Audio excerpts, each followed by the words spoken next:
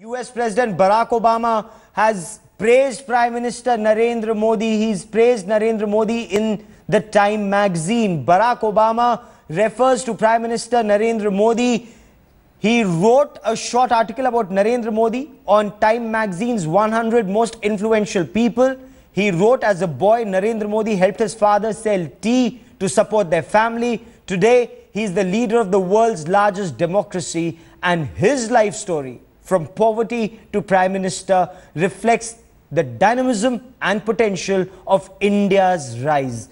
Determined to help more Indians follow in his path, he's laid out an ambitious vision to reduce extreme poverty, improve education, empower women and girls, and unleash India's true economic potential while confronting climate change. Like India, he transcends the ancient and the modern. A devotee of yoga who connects with Indian citizens on Twitter and imagines a digital India. When he came to Washington, D.C., Narendra, Narendra and I visited the memorial of Dr. Martin Luther King Jr. We reflected on the teachings of Martin Luther King and Gandhi and how the diversity of backgrounds and faiths in our countries is the strength we have to protect. Prime Minister Modi recognizes that more than 1 billion Indians living and succeeding together can be an inspiring model for the world. And Deputy Editor Smita Sharma now joins me for more on this. Smita, that is high praise coming in for Prime Minister Narendra Modi and his vision for India, and that too from Barack Obama. I've lost that line with Smita Sharma. We'll try and reestablish that connect once again. Executive Editor Javed Ansari with me. Javed, this is high praise and that personal connect. Narendra Modi referred to Barack Obama as Barack when he came to India. In this article, Barack Obama refers to the Prime Minister by his first name. He says Narendra is doing extremely well.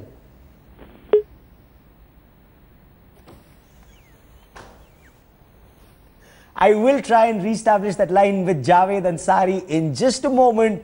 But for the benefit of our viewers who are joining us now, that's high praise for the Indian Prime Minister Narendra Modi, and it comes from the US President Barack Obama. Obama, Obama has written an article on Narendra Modi, and this is the Indian Prime Minister being described in the Time magazine as amongst the 100 most influential people in India. Barack Obama writes, as a boy, Narendra Modi helped his father sell tea to support their family. Today, he's the leader of the world's largest democracy. Smita, tell us more about this article.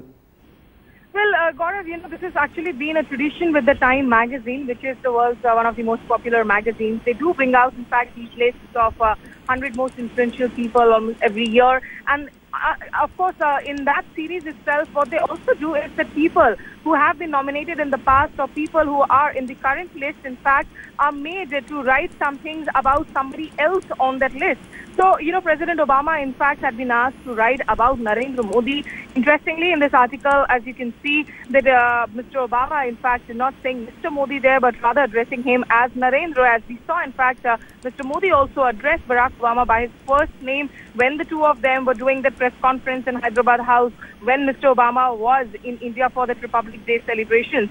And most of these words, in fact, we have seen them resonate in the past too. If you remember last year in Myanmar during the ASEAN summit, where the two leaders, in fact, uh, did not have a scheduled meeting, but, uh, you know, at one of the formal dinners, uh, Mr. Uh, Barack Obama actually reached out to Modi and within a few moments said that you are a man of action.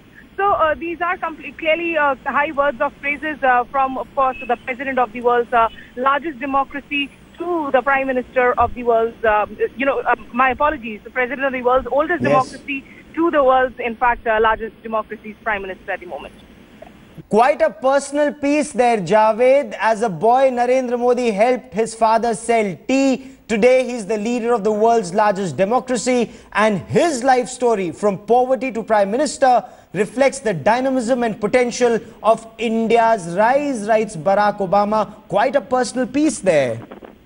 But certainly, Barack Obama has praised Mr. Modi, and, and the Prime Minister and his supporters should be very happy about it. There is no secret that the two of them have have come to share a, a certain rap, and that's reflected once again in what the U.S. president has to say about the Prime Minister of India in this Truth Time magazine. And the Prime Minister's vision, the US President echoes it in, in this piece. He says he's determined to help more Indians follow in his path. He's laid out an ambitious vision to reduce extreme poverty, improve education, empower women and girls, and unleash India's true economic potential while confronting climate change. So that's high, high praise that's for, for the Prime Minister. Stay with me for a moment. Uh, I also want to bring in Sanjay Kaul of the BJP. Uh, Sanjay Kaul, what do you make of, of what the US President has written? No, I think this is uh, it's a very genuine sort of reflection on things and, and the people he has met and and and and, and, uh, and Mr. Obama, as you know, probably also uh, finds uh, a kinship in the manner in which he has also fought a lot of prejudices in his life. So I think uh, to that extent, uh, uh, Mr. Modi's life and story have resonate with him, and and and in somewhere I think both of them, both these leaders, do find a certain common thread in the, running through their lives. So I, I can understand it's, coming from the heart, and it's completely genuinely felt. And he really does admire the qualities that he's talking about, as does Mr. Modi about, uh, as Mr. Modi has also said he does about Mr. Obama.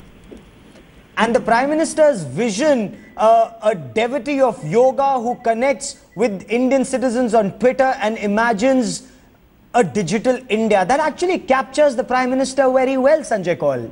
It does also. It also sort of indicates, you know, the the the extremities that he's uh, able to sort of connect. Uh, uh, basically, you know, his personality, how he's he's worked on the psyche of the people, how much he understands the people. I think, to be honest, uh, Mr. Uh, Mr. Modi has uh, had far greater success in that sense than Mr. Obama in his country because Mr. Modi came from nowhere, a small provincial uh, uh, politician, and who rose so quickly to become a darling of the masses. He has the sort of pull that I think politicians the world over would like to have, but probably do not enjoy. So I think that too is also something that Mr. Obama, Barack Obama, has felt very deeply, has seen, and has spoken about. And this is something which is very interesting the personal chemistry between Prime Minister Narendra Modi and the US President Barack Obama uh, when they first met in September uh, in, in New York and Washington, D.C., and then subsequently when, when Barack Obama came to India. And the Prime Minister has tweeted, he's responded, uh, he said, Dear Barack Obama, your words are touching and inspiring thanks. And the Prime Minister's Twitter Connect is something that's being talked about so extensively, Sanjay Kaul. And look how promptly the Prime Minister has responded.